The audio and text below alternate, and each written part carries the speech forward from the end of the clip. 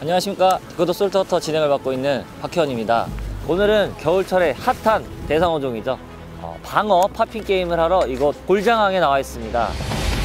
동해안 멸치 어군을 따라 방어 어장이 형성된 울진군을 찾은 디코더 박혜원.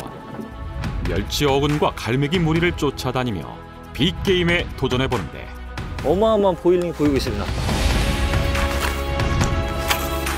여기 여기 여기 여기서 여기서 봤어 아 제발 하나 물어라 이. 어?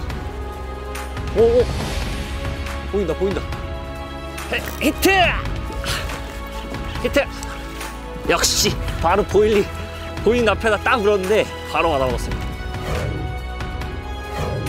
쫓고 쫓기는 숨가쁜 현장에 암호를 해독해 본다.